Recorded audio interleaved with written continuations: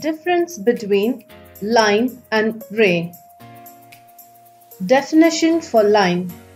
Line extends forever in both directions. Definition for ray. A ray starts at one point and continues on forever in one direction. Endpoints of a line. No endpoints. A number of lines can be drawn through a point. Endpoints of a ray one endpoint, a number of rays can be drawn with same initial point.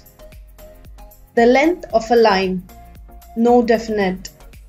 A length of a ray, no definite.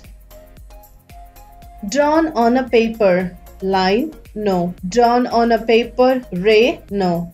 A symbol for line, a symbol for ray, representation of line, representation of ray. Thank you.